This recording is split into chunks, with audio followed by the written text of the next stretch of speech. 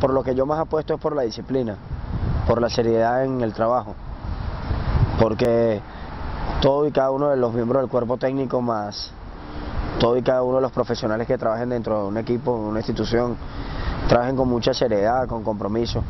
Y soy una persona que, que trata de vivir una vida lo más normal posible dentro de las restricciones que te da esta profesión. No soy de salir así de noche. A veces me gustaría, ¿sabes?, compartir eh, hasta más tarde, pero como me paro todos los días a 5 y media de la mañana, 5 y 20 de la mañana, no me voy a acostar a las 11, a las 12. Entonces yo creo que necesito estar descansado, lúcido, tranquilo, concentrado para el día siguiente. Imagínate que me acueste a las 1 de la mañana y me tengo que parar a las 5 y media. Se me puede escapar algún detalle que el domingo me vaya a influir y así lo pienso.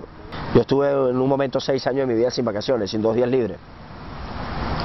Y evidentemente te afecta mucho, porque eres una persona igual que cualquier otra. Entonces no tienes fines de semana libres. Cuando si tienes una pareja que quiere ir a la playa, tú no la puedes llevar el fin de semana.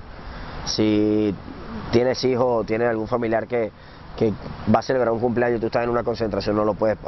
Son muchas restricciones. Hay momentos de la vida que tú quisieras compartir con gente y no puedes, porque estás dentro del fútbol, porque tienes que ganar el domingo, porque hay muchos factores que influyen, porque le dejas un respeto al plantel, porque tú no vas a poner las normas y las vas a infringir. Entonces, bueno, por muchas cosas se crean muchas restricciones. No, no condiciono ningún tipo de relación a la edad. Eh, ni las relaciones de trabajo, ni las relaciones sentimentales, ni las relaciones familiares. Que el momento que yo contrato a un jugador, el momento que yo pido un jugador, siempre parto de, de, del buen tipo. Eh, mucha gente me, me, ha criticado en, en, algún momento o hace mucho tiempo piensa de que lo que tú tienes que tener un buen jugador y después amoldar la parte personal. Para mí es más importante la parte personal y evidentemente que tenga un nivel futbolístico bueno. Fíjate que yo no he tenido la posibilidad de salir del país en los últimos 3-4 años. Lo voy a hacer dentro de unos 10 días. Eh, quiero seguir estudiando, quiero seguir trabajando, quiero seguir aprendiendo, seguir mejorando, tratar de, adquirir conocimiento. Para todos, yo creo que vivimos el fútbol muy intensamente. Nos gusta vivirlo así y como nos ha ido bien así, ¿por qué ser de otra manera? Somos así. Este, a mí me gusta estar muy pendiente de la mayoría de los detalles.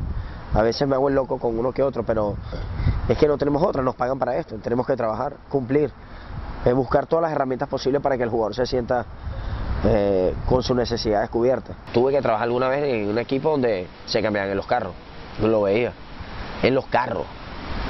Un jugador que ganaba plata y un jugador que después tenía que jugar Copa Libertadores se vestía en la maleta.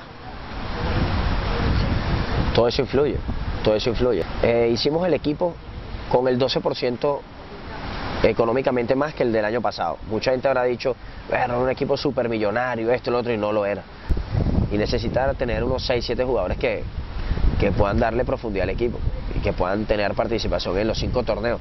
Son cinco torneos nueve meses, diez meses, hay que afrontarlos con todo. Primero quiero seguir yo, o sea, quiero seguir yo, quiero, quiero continuar acá.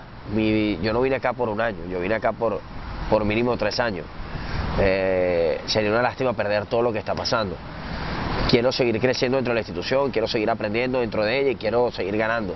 El primer estudio es el siguiente, un chamo de 12 años juega 10 partidos al año muchas veces. Y, lo, y, son dos tiempos de 30, son 60. O sea, son 600 minutos de juego. En un partido de fútbol se juega el 58, 60%.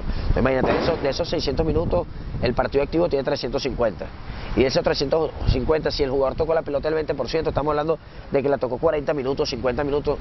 Suma 60 minutos demasiado, el doble. 60 minutos al año tocó la pelota el jugador. ¿Cómo va a llegar a primera división así?